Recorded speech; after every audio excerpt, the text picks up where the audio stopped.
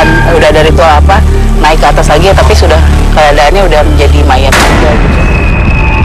Jika episode yang lalu kita sudah melakukan penelusuran di Waduk Lalung, kini tim akan menuju ke hutan bambu yang dipercaya sebagai keraton gaib. Warga kerap melihat penampakan sosok wanita tanpa busana di sekeliling hutan bambu ini.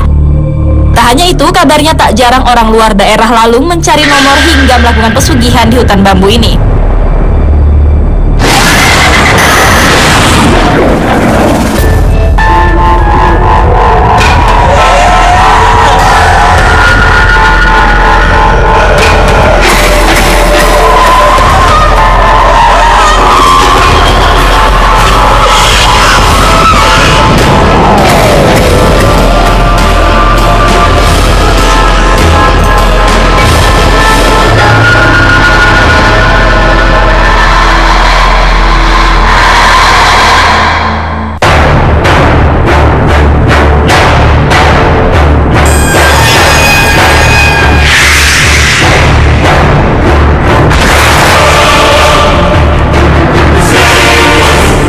Mr. E sudah merasakan energi yang konon katanya ada berdiri yang di depan menghalangi kita gitu. Makanya di atas saya itu sudah ada terasa kayak beban sedikit.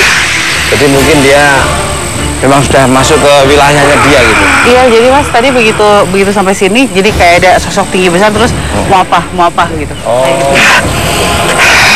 Gede-gede tinggi ya.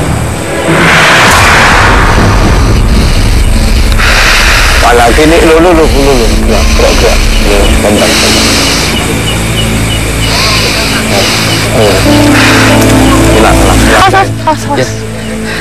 Udah masuk. Udah hilang, udah hilang, udah hilang. Udah hilang. Tadi gerak-gerak di sini. Ya. Mas Sri, apa tadi Mas Sri yang lakukan tadi? Ini Mas Tukul, eh, tadi kita mau masuk sini, ini udah ada yang menghalangi sekitar lima gitu Mas Tukul. Dia seperti eh, karena daerahnya dimasukin sama kita, dia seperti siap-siap mau perang gitu. Iya. Perkampungan daripada makhluk gaib. Oh, tapi udah izin kita mau. Ya, alhamdulillah tadi saya izin, dia sudah mulai buka eh, pintunya, kita boleh masuk. Misteri, gimana kalau kita langsung ke sana? Mari Mas.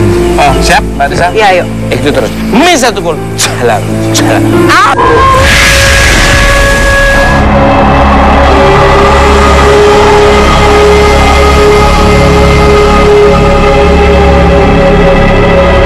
Di mana pusatnya, Misteri? Kalau sentralnya saya lihat ini Mas Tukul, di pohon ini ya. Oh, pantesan. Pemirsa sentralnya kata Misteri di sini. Nah, ini ada pohon bambu gede-gede. Ini pantesan di pohon bambu, pantesan di sentral di sini apa sosok yang paling anu, Misteri? Ya kalau saya lihat eh, ada memang perempuan-perempuan Mas Tukul. Kadang perempuan ini menampakkan diri tanpa memakai baju apa. Oh, berarti itu tadi. Jadi seperti telanjang bulat. Terus nomor dua lagi di sini ada makhluk yang tinggi besar. Nah, kadang si eh, ul- sosok ular, kadang juga di sini Mas Dul. Mau ya? eh, ular yang ada di waduk tadi tuh. Eh, kadang dia pernah eh, masuk ke sini juga, kadang balik lagi ke sana. Jadi kalau saya lihat Itu antara waduk putih apa lari itu? Itu ya? Ya, Itu ya? ini udah berjajar. Sini ya udah berjajar ya? Udah berjajar Mas Dul. Baunya kecium kan mas? Iya, iya, iya. Gak enak baunya. Aduh. Ini di sini banyak banget berjajar.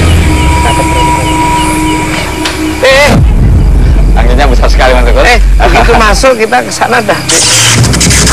Iya disambut. Tuh. Iya itu ngerasa tadi begitu mau suruh maju ke depan udah langsung kayak seolah-olah dia menggerakkan. Ayo. Iya itu itu. Hmm. Padahal tadi belum kita ke sana udah oh, itu itu eh, goyangnya nggak enak banget. Gimana misteri?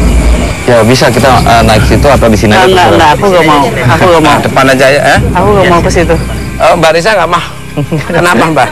Karena kita berdiri makhluk-makhluk yang Gede-gede ya. Ke sini lah ya. Iya.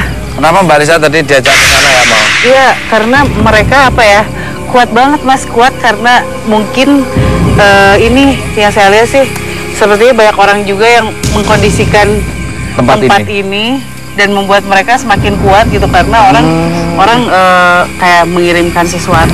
kasih makanan. kasih Iya, makanan, iya, iya, kasih iya, apa. iya. Sementara kan kita datang tanpa membawa apa pun dan, Oh, ya. dan apa ya itu jadi kebiasaan, mereka. kebiasaan ya. ya. jadi orang ke sini harus membawa makanan buat mereka. Dibiasakan Iya. ya, memberi sesuatu di sini. Udah supaya tidak terjadi lagi seperti itu. Amin, amin. Dulu goyang-goyangannya beda lagi. Eh, itu apa ini? Ini tadi apa ini? Ini tadi kok goyangannya lebih kencang banget apa? Itu ada yang nyenggol tadi. Apa mister ini? Banyak banget. Di, di makin- belakang saya udah banyak sekali. Mas Ini tadi goyangnya Iya, kayak gitu memang ya? sini ada dua makhluk Mas Ukul. Loh, loh, loh, loh, loh. Kalau ini sosoknya seperti yang uh, saya bilang seperti genderuwo itu Mas Ukul. Iya tadi goyangnya. Iya, iya. Iya, kayak pasukan. Wah, kuat banget. Eh. Apa? Ketawa. Ini mulai mendekat Mas Ukul. Aromanya. Kenceng banget. Ini ini mulai mendekat karena apa? Kita disangka seperti orang-orang yang sering ke sini yang sering ngasih makanan sama dia. Hmm, Betul, betul. Kenapa Mbak Risa? ya kalau mau datang ke sini ya eh, intinya kalau mau datang ke sini ingin sesuatu ya kamu harus mengawini salah satu yang ada di sini. Benar.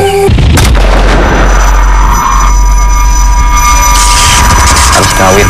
Harus Harus nikah. mengawini mengawini salah satu yang ada di sini dan mereka bisa menjadi apa saja yang kamu inginkan. Ih. Jadi kalau misalkan kita Apa, selera, Mister? kita selera perempuannya seperti apa, mereka bisa jadi seperti Hmm. itu. Tapi efek nafkahnya pasti dia akan di, Efek, diperbudak. efek negatifnya yang yang paling yang paling menakutkan adalah menjadi penghuni tempat ini. Jadi bagian dari mereka, Mas. Kemakan, ketelan akhirnya. Mister I, eh, kira-kira ada berapa orang sudah mengalami hal seperti itu dan dia menjadi warga mereka ini? Kalau saya lihat Mas Ukul ya sebenarnya sih ada banyak. Cuma yang lainnya itu dia sembunyi, maksudnya sembunyi itu nggak mau bercerita. Karena memang kalau dia bercerita Pemirsa, keadaan semakin mencekam. Tiba-tiba saja angin meniup kencang dan pohon-pohon bambu bergemuruh kencang. Ada apa sebenarnya? Nggak usah diceritain. Karena energinya tadi diomongin nggak mau, maju sedikit. Mengerikan gitu. kalau kita nggak eh, seperti nggak pamit dia akan marah. Bisa, kayaknya sepertinya Mister I memberi syarat harus pamit dulu kalau nggak pamit mereka akan tidak suka dengan kita. Eh, pada saat ini, pada saat kita di sana, Mas, kalau biasanya dia memperlihatkan sama orang-orang yang pengen mencari sesuatu dari tempat ini, biasanya dengan tampilan yang cantik ini. Kalau hari ini, mereka menunjukkan tampang aslinya gitu yang ya maaf tanpa busana gitu, terus dengan wajah mengerikan dan baunya juga sangat menyengat tuh.